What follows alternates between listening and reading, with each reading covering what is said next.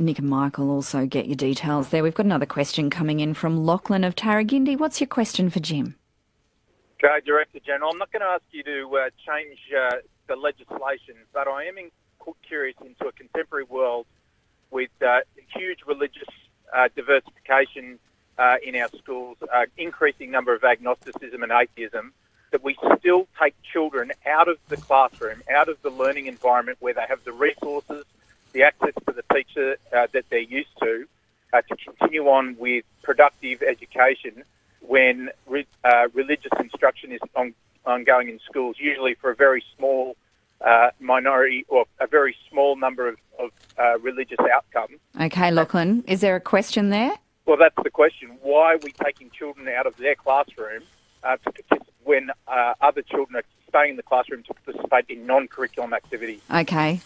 Okay, thanks, Lachlan. It's so, a long running issue, Jim. It, it, there is, and, and I, I get the passion um, from both perspectives, and, and, I understand that completely.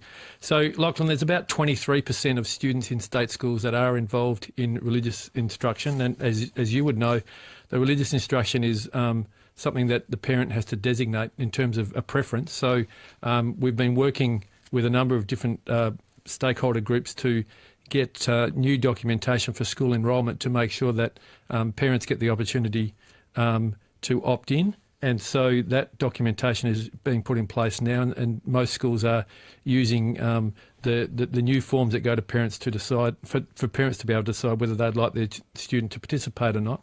Uh, as you'd also know, um, for the for the uh, vast majority of students who don't um, undertake religious instruction, then they're provided with instruction um, in other areas, and so uh, it's a school-based decision and uh, and one that's instructed, I suppose, by parents requesting uh, the religious instruction. So, so uh, Jim, if a child sure. is not having the religious education, then they're supposed to be getting other instruction and and that's the that's the wording. Um, so it is other instruction, and so schools will make decisions about what that instruction uh, specifically is, but it'll depend on the number of students and uh, uh, and and how they want to manage that um, time. I know um, one little girl who's quite happy because she gets uh, forty minutes of time on the iPad. Oh, really? At school.